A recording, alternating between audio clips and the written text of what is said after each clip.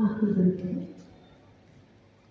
कहते हैं कि योग से हर कर्म ही देवता को हम मानते हो। जिस भी धर्म को हम मानते हो तो हम उस धर्म के गुरु का आह्वान करते हैं।